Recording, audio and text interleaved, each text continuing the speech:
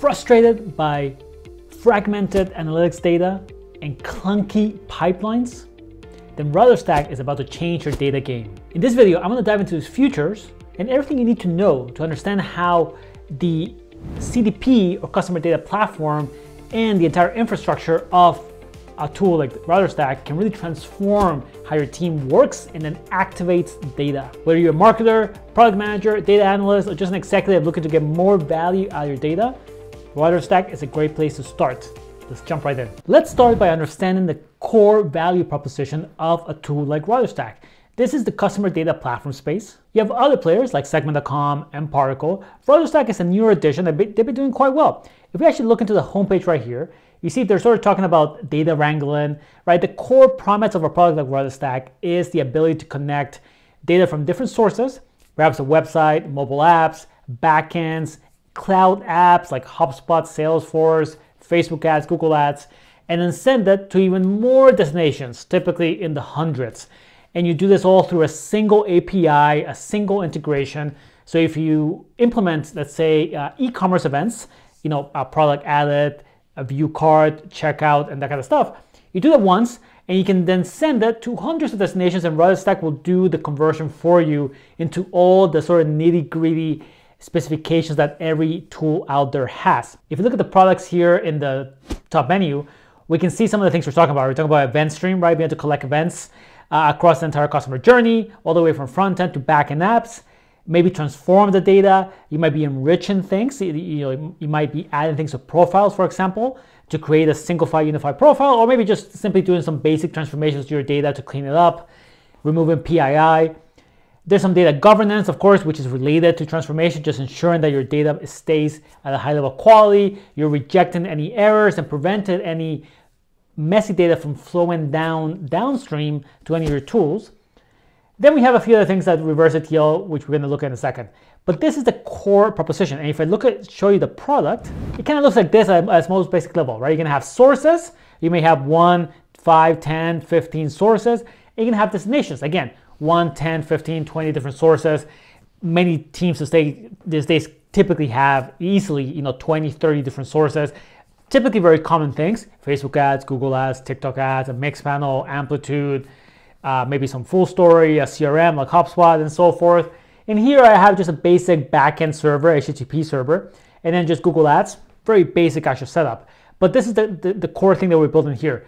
So instead of integrating manually to all these integrations, you can do it once and save yourself a lot of time. Plus, you get all these tools to be able to protect the quality of your data. And of course, once you have your data here, then it's much easier to activate it, which typically just means you're gonna create some kind of tangible output. For example, you may create an audience of uh, purchases who uh, have not purchased anything in, say, the last 30 days. And then once you have this audience of existing customers who have not been recently active, you might send that to your email marketing platform to send a bunch of emails. Maybe they go to your CRM where they're going to be handled by specific sales reps if they're a specific value. Maybe to Facebook ads to run a retargeting campaign and so forth, right? So you start to activate the data in ways that's actually going to be tangible and actually drive some value for the business. Without tools like RudderStack, the activation portion can be actually quite tricky because you spend all your time simply wrangling data, cleaning it, trying to maintain some kind of pipeline, ensure it gets updated, living with a bunch of CSVs and Excels. So you, you do this first, and then the activation is typically pretty straightforward by that point. So let's look at how hard is it to ingest data. That is the very first step you have to do when it comes to setting up RudderStack. Let's start with the SDKs. So from an SDK perspective, you're gonna see very standard stuff. You have the JavaScript, this core SDK. Then you have mobile apps, you know, iOS, Android, and you know, equivalents like React Native. Server SDKs, depending on what you're using, Ruby, Java, uh, Java, and so forth. If you open the JavaScript one, just to see a few things, again, if you've seen any kind of these tools out there before, uh, they all typically work on an event model and user model. That is, you have events. Uh, they have event names, event properties. You know, a user purchases something, that's an event, and then the bunch of properties tell you what the user purchased, like the uh, product name, the price, and so forth. And then you may have user properties like first name, last name, email, uh, geographic data, and so forth. So we see a lot of different things. I find the RudderStack SDKs are typically well documented, uh, despite being a, a, younger tool compared to like a Segment.com or something like that. So you do have uh, a lot of things that can show you how to sort of get going with the with the SDK. uh, specific things related to the SDK, uh, maybe how to handle consent, uh, how to deal with app blockers in this case, since we're talking about JavaScript, uh, and a few other things. So generally, again, pretty straightforward. Here are the, the common methods, right? Like the track calls, group calls for organizations, uh, maybe page for page views, identifier for sending those user properties, user, user records. And these are the SDKs. They all kind of function in a very similar way depending on what language you're working on. So you may do some work implementing events manually like this, wherever the data lives, and your developer goes through it. They write the code, the little snippets of code, and they fire the events into RudderStack. This is one way you can get data into the platform. The second way is to use Cloud Apps and just simply import data. So we have a bunch of other uh, Cloud Apps that are supported as sources. That is, they, they can send it to RudderStack. We have AppsFlyer, uh, Braze, of course, PostHog, and a few other ones. If you look at Braze, actually, it's a good example. Braze, of course, is an email marketing platform, and you can connect it to your, to your RudderStack. Braze will then send data into RudderStack, and it'll actually send all these different events here. Basically, events around sort of email lifecycle, like you know, email sent, email open. Uh, this is a concept that Braze has around canvases, this sort of journey-like uh, functionality, and a bunch of. So you know, there's about what 20, 30 events that Braze can send, and of course, there's a bunch of properties that Braze is sending alongside those events. So this is another way you can get data into RudderStack. You can see a lot of things here. You have Shopify, for example, right? Where Shopify can send data here. And if we scroll down, we're gonna see some of the events, right? Like checkout delete, checkout update, here's your order create. So we have a bunch of stuff related to your e-commerce store that Shopify can send automatically. This is actually very helpful because then, of course, you don't have to do this manually, one thing. But the second thing is typically these tools that can send data automatically tend to be highly reliable. Uh, there's very little downtime, very little issue that you typically run into uh, if you're dealing with a tool like a Shopify or like a Braze. So Cloud Apps is a second way to get data into RudderStack. And again, it's not an either or. You might just be using both. You might manually implement some events, perhaps from your backend or something where you know you don't have some kind of cloud app. And of course, perhaps from any apps you might be implemented directly into it. As you can see as well, uh, you could just actually do this manually, you know, if your cloud app is not here, but it can output some kind of webhook. Perhaps you can just implement that and get RudderStack to catch that webhook and then take the data in. So there is some flexibility. And the third way, which I think is helpful to mention, is actually a reverse ETL process. This is much more common today. There are standalone players in the space, like a Census or Hightouch, but RudderStack does offer a reverse ETL functionality. This means that if you have your data in data warehouse, or you can get your data into a data warehouse like a BigQuery, like a Redshift, like a Databricks. You can then run a reverse ETL, which basically just means writing some kind of SQL query. It creates a table or a data model, and then RudderStack can then ingest that data. There's a few details here, of course, on how RudderStack will be able to maintain uh, the table up to date. So how it knows there has, there, have, there has been updates or diffs on the table. But this is a, a, way where you can take data in probably the most flexible format out there, a data warehouse, and then bring it in while sort of molding it into that event, event property, and user property model that RudderStack expects. So reverse ETL is very handy. Uh, it's relatively new, perhaps in the last few years, it's become more popular. It's a very, very flexible way of dealing with data. And if you don't want to kind of play around with webhooks, that kind of stuff, just take your data out of the data warehouse and just simply write, you know, sort of vanilla SQL to reverse ETL the data back into RudderStack and then make it available to everything else. Again, read the caveats because you, you, do have to make sure you have certain things like a user ID, uh, perhaps a, a, way for RudderStack to identify when the table changes or some kind of timestamp. So there's a few things you have to note that make this a little bit more of a technical solution. But if you have that capacity capability, this becomes one of the most flexible ways of working with data. Once you have your data in RudderStack, of course, we want to take it out. That's the whole premise that we're doing here. So for this, we have to look at destinations. So let's look again to documentation here, just so you can see. Typically, destinations is all a numbers game. You know, we're talking about hundreds of destinations, and it's all about adding more and more destinations over time. Uh, you can see RudderStack, of course, has a very big list, naturally categorized. It's quite nice. Uh, and you're gonna find here pretty standard stuff, right? Google Analytics, the Mixpanel, all the different pixels out there from the major ad platforms. There's the A/B testing tools. Under say email, we are gonna find uh, a lot of tools like Braze is gonna be somewhere in here, right? Under the marketing category with ActiveCampaign, MailChimp, uh, productivity apps. Of course, data warehouses themselves are a type of, that type of destination. And again, once you have your data uh, structure for RudderStack, adding a destination is typically pretty straightforward. You kind of go in, you enable it, it's kind of point and click. In fact, I can actually show you in a second. You know, once we're here and we add a destination, we kind of go through a list. Let's say we're gonna do amplitude. We're gonna choose our source. And then we have a few things, you know, maybe you wanna name it, we need an API key, maybe we have a, a, a server requirement if we're in the US or we want the European uh, server. And that's typically it, right? From that moment on, there, there's a lot of things that RudderStack will now do automatically for you. It might give you a few other options around how to handle sessions and other amplitude specific things. But generally, the connection of a destination might just take a few minutes because you already have the data structure in the way RudderStack expects it. Some destinations have specific requirements. They are looking for specific uh, properties or events, so you want to check those out and see what those look like. But again, it's generally not a complex process once you have your data in. Let's also talk about warehouse destinations. Again, the same concept. You can actually send data to your warehouses. In this case, you have a few more options, but again, pretty standard, BigQuery, Redshift, Databricks. Uh, and then they, they receive your data in some kind of data model that makes sense for that specific warehouse.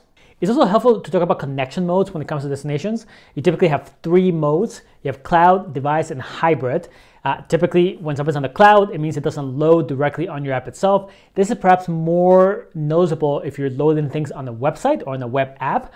So if, it, if it's on the cloud, it's not loading on the page itself. If it's on device, of course, it is loaded on the device itself. And hybrid tends to be a mixture of both. If we scroll down here a little bit, right, we see, for example, cloud mode simply means that the data will be received by RudderStack. It, in the cloud gets transformed and it gets sent over to the tool itself. Benefits, of course, not, not loading things on device might speed up your app. It might mean fewer, fewer things actually loading uh, on the device itself. And typically for most tools, you know, loading on the cloud is actually not a big deal. Uh, it, they all still work very well. If you need device mode though, then RudderStack will actually load that app on the app itself. Uh, sometimes the way the SDKs interact changes a little bit once the device mode is enabled. So again, you want to sort of check that, see how that works. A good example of this actually typically is mobile apps, where a tool like AppsFlyer needs to load directly on the device to be able to do the attribution properly. You cannot just you can't just do the attribution on the cloud. So depending on what tool it is, you might need device mode, but again, you have to double check the settings. And unless we have hybrid mode, where RudderStack will decide to send some data through the client itself in a sort of device mode and other data through the cloud. You can see actually it's only a handful of destinations that support hybrid mode, so you're likely not gonna run into it too much. And honestly, I think just cloud device is typically good enough. Either you choose one or the other. And typically these days, you're choosing a lot of cloud just to kind of keep things a little speedy and a little bit more organized. Next, let's look at a little bit of transformations, right? So you have your data in from RudderStack through some kind of source. You're deciding where to send it through some kind of destination, but you may need to transform it a little bit before it gets there. So let's let's look at, at what it looks like create a transformation. Here we can see some of the sort of templates that, that we are that we're using. Common things, right? For example, we may need to uh, anonymize the IP. Some tools reject PII altogether. Google Analytics is a good example where you really do not want to send any kind of uh, PII, typically like first name, last name, email. Uh, I do believe Google Analytics actually does support IP address and then they, they discard it. But some tools, again, uh, and depending on your policies, you may not want to send PII in any shape or form. So this is one of the most common use cases for transforming data. This means that you, you can sort of ingest all the data as needed. Uh, you're not removing the PII at the source level, but you are removing it at, at the destination level before it gets sent somewhere else. Let's look at a few other things. Geolocation enrichment is actually kind of cool. You know, typically most tools actually will take the PII and convert it to a, a city, region, and country. So having a function for doing that is helpful. Again, replacing PII, uh, similar to IP anonymization or hashing PII. For example, Facebook ads typically require some PII to be hashed, like a first name or last name or email. Uh, they don't want just the, the plain text email, so it needs to be hashed. Again, if you're connecting Facebook ads, typically RudderStack has actually built that in into the logic of that destination. But you want to double check things, you want to be careful, or you may have something that doesn't quite do that automatically. You have here a way to, to uh, hash that PII. Renaming, of course, extracting your parameters. You know, you might use this for, for example, uh, marketing attribution, and you're extracting UTM source, UTM medium, UTM campaign, and so forth from a URL. Let's say we want to take hash and PII. We get effectively a, a function here, just a basic JavaScript function. And in here, we are taking uh, maybe importing the library in this case, which we're going to use for hashing. Uh, other, other functions may not have this, of course. Then we're going to take the event. So every event that flows to destination, right? We're going to get the event and the metadata itself. Uh, we're going to look for the email, which is going to be somewhere in the event metadata. In this case, it's going to be somewhere in the context traits.email, probably, uh, but you want to change this to whatever you need it. And then we take it. If email exists, then we're just gonna hash it as email, and then we're gonna return the entire event back into destination now with the hash PII. Uh, if you've seen the sort of the segment.com functions, this is very similar. Uh, so it's very handy, of course. You, you, have sort of plain vanilla JavaScript here. You can do a lot. Uh, you can change the function very uh, in many different ways. I find this to be very, very powerful just simply because helpful to make this little tweaks instead of asking developers to do it over and over again, especially once you have the source data and you can do everything. Of course, you can import uh, APIs here or you can call APIs, you can do a bunch of stuff. Another thing about transforming data will be the, the data catalog or the, the data governance. Uh, again, typically here you add in some kind of tracking plan uh, where you're saying, hey, these are the events I'm expecting. Here are the 10 events with you know the bunch of properties and the uh, property names and the type of values we're expecting, integers, numbers, strings, booleans, whatever. We put it in, you can then run it against sources, and if there's anything that doesn't fit into tracking plan, you can then decide to either discard it altogether or perhaps to allow it but raise some kind of notification. So you get some choices. Again, this prevents the quality of data that flows into your downstream destinations to always be of the highest quality. You can be very, very strict here, and it prevents sort of garbage data from piling up, which inevitably really happens, right? You have so much, so much data flowing through. Uh, it's hard to keep this within control unless you have something like this basically at the source level, just simply looking at every single event, every single property, every single property value to make sure it fits to what you expect. So again, just another handy way of, of protecting all the work you have done to ingest data, maybe transform it, and ensure that whatever flows into a downstream destination is correct. Finally, let's look at pricing over a couple minutes.